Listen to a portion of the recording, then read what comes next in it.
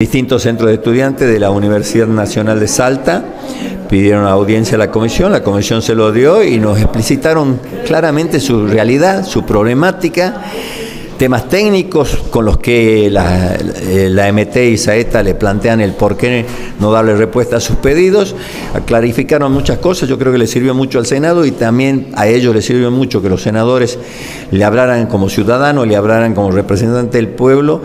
porque esa simbiosis seguramente va a encontrar en las organizaciones del Estado, la MT y Saeta, puntos en común que podamos resolver algunos de los pedidos de los estudiantes, si pudiéramos todos, por supuesto todos, pero bueno, sabemos cómo está la situación nacional, sabemos cómo la provincia está recibiendo muchísimos recursos menos, pero eso no quita que tengamos que buscar con creatividad respuestas que solucionen a sectores de la sociedad sus problemas. Y los estudiantes me parece que deben ser tenidos en cuenta, escuchados y a donde el Estado debe buscar lo máximo de acompañamiento para que ellos puedan luego desarrollarse en la vida. ¿Van a hacer una suerte de mediación con Saeta, con AMT?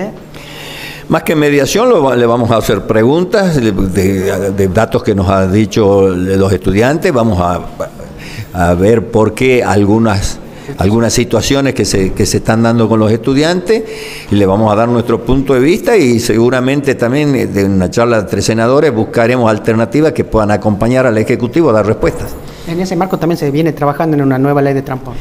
Nosotros veníamos trabajando en una ley de transporte, habíamos avanzado bastante, luego el Ejecutivo convocó a todos los sectores de la sociedad, dijo que iba a enviar en unas semanas la ley de, una ley de transporte que ya la tenían hecho ellos, entonces el Senado estaba esperando que venga esa ley para complementarla y hacer una sola entre la que estábamos trabajando nosotros y la habían trabajado. Todavía no llegó esa ley, pasó mucho tiempo, así que los senadores vamos a seguir avanzando en la ley que veníamos trabajando. Y en ese marco se está también, eh, digamos, contemplado el tema universitario. Y en ese marco se veía claramente el conocimiento de los senadores con la problemática que hay en el transporte en el interior y sobre todo el cómo hacer llegar a nuestros estudiantes, a nuestras escuelas, en nuestros propios pueblos y ciudades y los estudiantes que se vienen a Salta, como le es mucho más difícil que tal vez a otros eh, conseguir herramientas que lo acompañen. Así que todo eso estaba, está planteado en nuestra ley y bueno, falta que la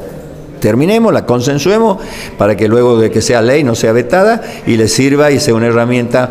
para la sociedad. En eso estamos trabajando responsablemente.